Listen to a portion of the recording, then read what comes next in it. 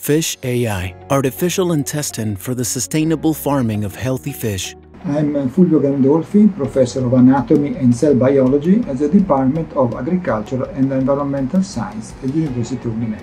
I'm the coordinator of the Fish AI project. Nutrition is a key aspect to improve the quality and reduce the environmental impact of producing enough food for an ever-increasing population.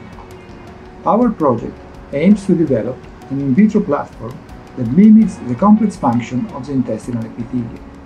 Thanks to the bottom-up creative approach of the FET program, we combine experts in biomaterials, stem cell biology, and fish nutrition with a global leader in animal feed production. The development of new fish feeds is an ever-changing and diverse global market. Aquaculture production will need to more than double between now and 2050 in order to meet the food requirements of the growing global population. But at the same time, we need to reduce pressure on the planet's resources. Skretting's mission is to be part of this change and to feed the future in a sustainable way. Traditionally, aquaculture feeds have contained fish meal and fish oil as the primary ingredients.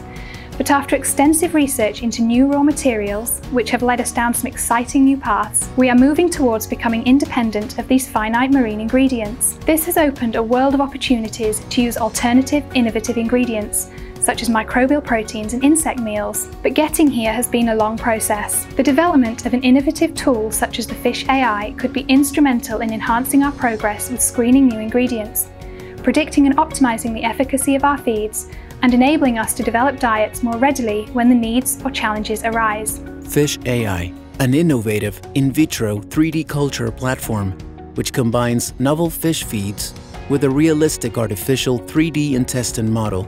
What are the essential components of an in vitro 3D intestinal platform? We need fish intestinal cells to create the artificial organ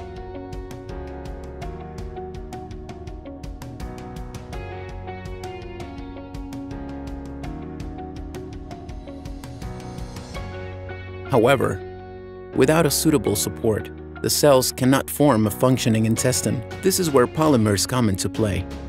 A 3D, intestine-like supporting scaffold based on biomaterials is therefore essential.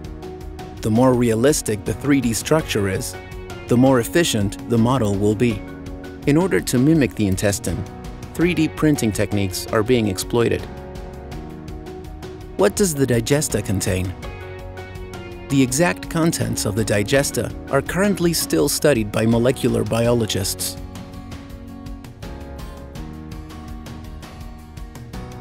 By combining the right components, an artificial intestine can be developed. By maintaining the flow of the digesta through the cell-seeded 3D polymeric scaffold, real-life organ behavior can be simulated and studied. At Biofabics, we are experts in biofabrication and in developing personalized cell and tissue culture devices. Project Fish AI is enabling us to find new applications for our technologies in animal and nutritional research.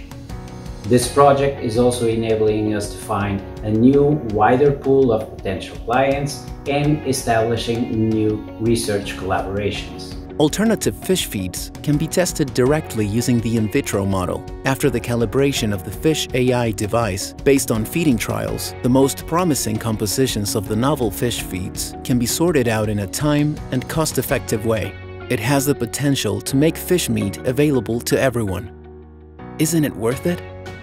Fish AI. We believe in a sustainable future.